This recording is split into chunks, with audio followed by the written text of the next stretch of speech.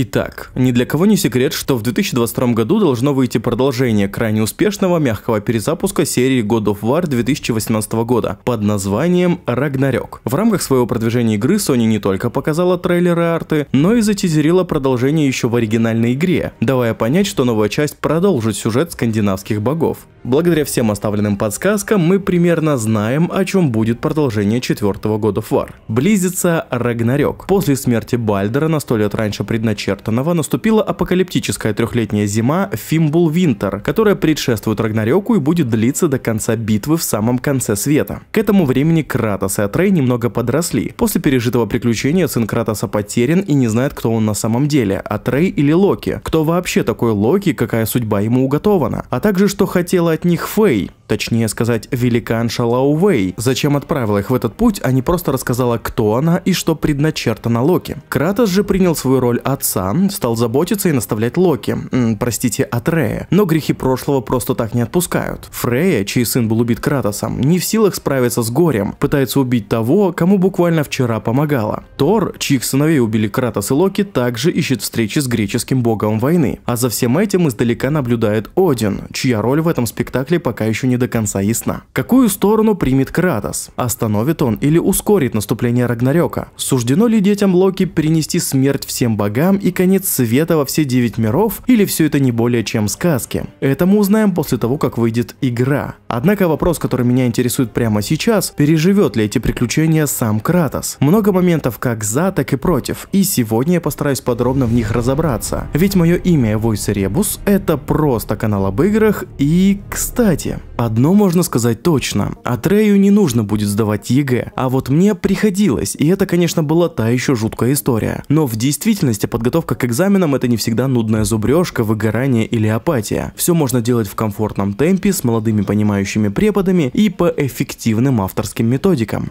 Вот вам повезло. Онлайн-школа Umschool подготовила для вас топовую программу обучения в мастер-группе NEO, которая сделает вашу подготовку к экзаменам вдвойне проще, эффективнее, без стресса и в удовольствие. Удобный формат онлайн-занятий с изучением всех тем, которые могут встретиться на экзамене. Собственная образовательная платформа. А что еще круче, так это то, что с вами будет работать искусственный интеллект, который анализирует работы пробников и домашек и рекомендует занятия по темам, которые вызывают сложности. Только индивидуальная программа подготовки, которая позволит подготовиться к ЕГЭ и ОГЭ за короткое время с нуля до 90 плюс баллов. Никаких злобных учителей, заставших лично путь Кратоса, только молодые преподаватели, которые на волне с учениками объяснят темы доступным образом и на понятном языке. При этом в мастер-группе NEO возможна дополнительная мотивация учеников в виде умкоинов, которые можно обменивать на скидки и классную продукцию Umschool. Исключите выгорание своей жизни, переходите по ссылке в описании и начинайте учиться в Umschool, ведь до ЕГЭ осталось всего 4 месяца, а у Umschool есть тот самый курс, который поможет пройти всю программу экзаменов за оставшееся время.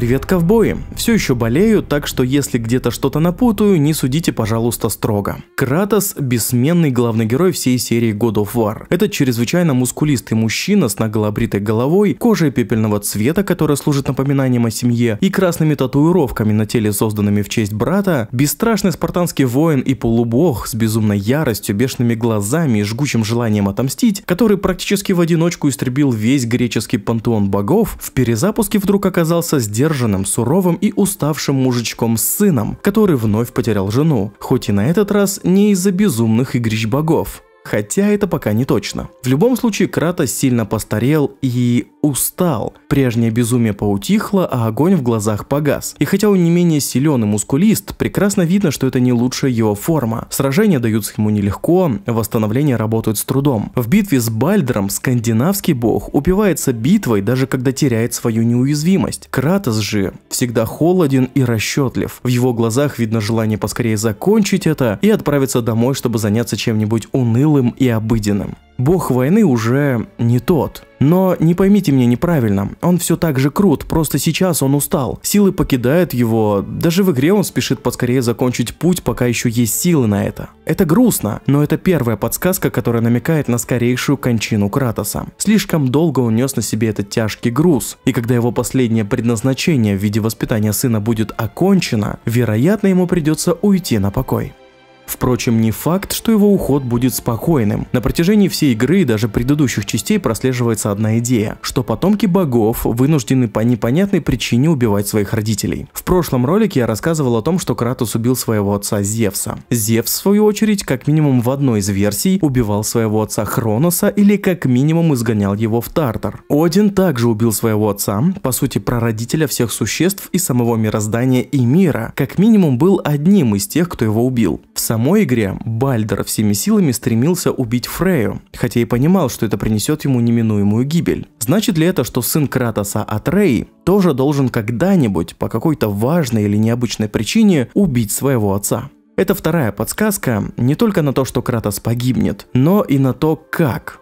Впрочем, я не могу говорить об этом с уверенностью, ведь Кратос вроде как прервал цикл, очень сильно этим повлияв на своего сына и, скорее всего, на его будущие поступки и отношение к отцеубийству. Не говоря уже о том, что таким образом Кратос приблизил Рагнарёк. Также в конце игры, среди всех предсказаний великанов, была изображена необычная сцена, где молодой парень с колчаном стрел, якобы Атрей, держит в руках лежащего без сознания лысого и бородатого мужчину вероятно Кратоса, и высасывает из него жизнь. Это третья подсказка, хотя она и чистой воды спекуляция, ведь картинку можно интерпретировать по-разному. Однако игра показывает нам эту сцену как раз в тот момент, когда нам ничего не остается, кроме как сделать вывод, что это Атрей и Кратос, ведь до этого все изображения иллюстрировали путь этих двоих. А история с отцеубийством намекает на то, что сын убивает своего прародителя. Еще один интересный момент. По скандинавской мифологии мужем Лаувеи был великан Фарбаут, Фарбаути, который, к сожалению, умер, хотя и при неизвестных обстоятельствах. А учитывая, что на этих фресках Кратос числится как Фарбаути, нет ничего удивительного в том, чтобы предположить, что его жизнь закончится при неизвестных обстоятельствах, но явно в рамках скандинавской мифологии.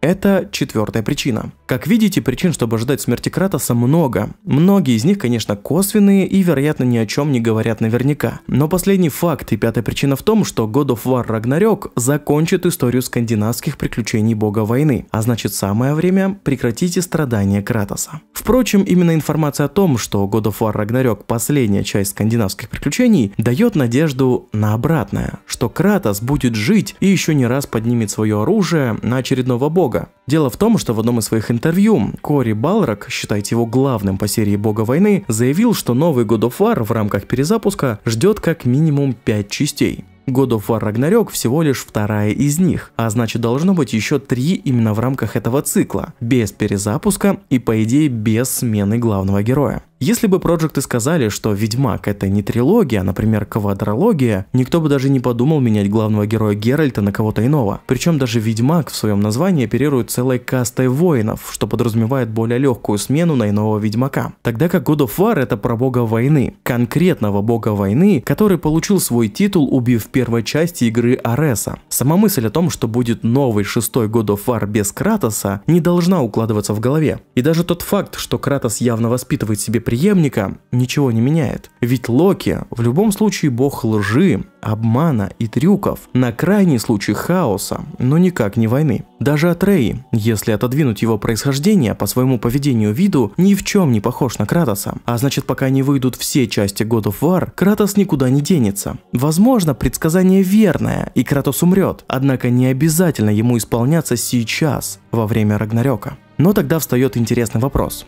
Если God of War Ragnarok это последняя часть про север и скандинавских богов, то что же будет дальше? И в игре нам дают определенный намек на то, какие еще миры, страны или, если хотите, вселенные может посетить Кратос. Ведь на утерянной табличке с Тюром говорится, что этот скандинавский бог войны, который и вообще как бы наоборот был за мир, дружил с великанами, за что и получил их просветленное зрение, за всю жизнь посетил несколько других стран, которые выражены особыми символами. Кратос называет их символами войны. Самый известный среди них для нас это греческий символ омега, который отсылает к греческому алфавиту и основному символу игр с Кратосом, а значит и к греческой мифологии как таковой. В каком-то смысле этот символ до сих пор с ним. Также среди символов есть три скрученных запятых. Символ называется Мицу Дамоя и отсылает к японской культуре. Особенно интересно, что в далекие времена этот символ наносили воины на свои доспехи, чествуя бога войны Хачимана. И даже сейчас такое тройное Тамоя применяется в храмах его имени. Следующий символ – тройная кельтская спираль или триксилион. И, конечно же, она отсылает к кельтской культуре. По своей сути, такая тройная спираль связана с тройственностью бытия в применении к человеку, солнцу и природе, но чаще всего его рассматривают как символ трех состояний человека – рождение, жизнь и смерть. Причем тут война – непонятно. Последний символ обозначает глаз, или скорее око, соколиное око бога неба и солнца Гора. Еще его называют Уаджет. И отсылает он, конечно же, к культуре Древнего Египта. Что интересно, этот глаз был выбит в схватке другим богом Сетом, который как раз был богом войны, хаоса и смерти, так что логичнее было бы, если бы этот глаз был его. Однако после исцеления Уаджет стал могущественным амулетом, который носили фараоны. Что это значит для продолжения истории Кратоса, я не знаю. Но и Кори Балрак говорил, что хотел бы увидеть франшизу игры в древнеегипетских декорациях, а еще в декорациях майя и китайских декорациях. Вот вам и как минимум 5 частей. Две скандинавских мифологии, и по одной кельтской, древнеегипетской и японской. Каждая из культур очень многообразна, а также дает множество мыслей о продолжении истории. Японские они, египетские боги и всякие кельтские огры, лепреконы, феи или сприганы. Все это очень интересно. Но вот что меня волнует прямо сейчас в куда большей степени. Тюр уже побывал в этих мифологических местах или только планирует? Сложности добавляет то, что табличка с одной стороны является предсказанием, с другой историей, а еще эти путешествия во времени. Была даже теория о том, что Кратос это на самом деле Тюр, который был втянут в Рагнарёк, но отброшен во времени назад. А значит у него как раз появилась возможность исследовать другие миры. Но нам показали трейлер и эта теория заглохла. Хотя возможно и все кроме Тюра в ней окажется верным. Получается, что сейчас есть множество причин считать, что Кратос погибнет и не меньше причин, что выживет. Однако что-то мне подсказывает, что правда окажется где-то на середине. Возможно его действительно отбросит во времени, он посетит иные страны и примет свой финал в Рагнарёке. Возможно, начнется новый цикл про Локи, где сын сменит отца, воспитав в нем преемника. Возможно, Кратос переродится. Таких догадок можно придумать много, но сконцентрируемся на другом, на самом главном – предсказании великанов, которые, как мы знаем, ведают будущее. Итак, возьмем за основу, что на данной фреске действительно изображен Кратос. Не Тюр и не Один, потому что не совсем понятно, что им тут делать. Да и если верить переводу, то руны вокруг гласят что-то вроде «смерть отца – несчастье», что явно наводит на мысли о смерти Кратоса, который в финальной битве может потерять руку, ногу и глаз. Одна корона неподалеку переводится или как обман, или как предательство, одновременно намекая на то, что смерть Кратоса вызвана или чьим-то предательством, или всего лишь является обманом. Напомню, что Локи, по мифологии, мастер иллюзий, а значит сотворить смерть отца для него не то чтобы из разряда невозможного. С другой стороны, во сне Атрея нам показали Тора, который по предположениям пришел просить помощи у Кратоса в том, чтобы остановить Рагнарёк. Однако Тор всегда истребляет великанов, и вполне возможно, что в конце конце предаст и попытается убить или Локи, которого Кратос будет защищать, или самого Фарбаути. Кроме того, не совсем понятно, что именно делает Атрей на фреске. Пытается спасти отца или наоборот забирает его силу. Ничего не понятно. При этом также не стоит списывать со счетов Фрейю, истинную королеву Валькирии, которая отправилась к Одину, чтобы вернуть себе крылья. Да и Бальдера, несмотря на смерть, тоже. Ведь в легендах его практически удалось вернуть из страны мертвых, если бы не Локи. Эти двое также могут привести к тому, что изображено на фреске. Слишком много информации, которую очень сложно связать воедино и дать какой-то конкретный ответ. Но лично я верю в то, что Кратоса ждет какое-то испытание и смерть, а за ним, возможно, перерождение или какое-то преображение. На другие выводы сейчас мое пораженное болезнью сознание просто не в силах. Так что если у вас есть какие-то мысли на этот счет, погибнет Кратос или выживет, или как именно это случится, то напишите, пожалуйста, в комментариях. Если видео понравилось или было полезно, поставьте лайк, подпишитесь Подпишитесь, если не хотите пропустить следующее, и напишите поддерживающий комментарий. Отдельная благодарность спонсорам за оказанное доверие и поддержку. И не забывайте кликнуть по рекламной ссылке в описании. Мне это очень поможет. На этом все. С вами был Эвойс Ребус и увидимся в следующем видео.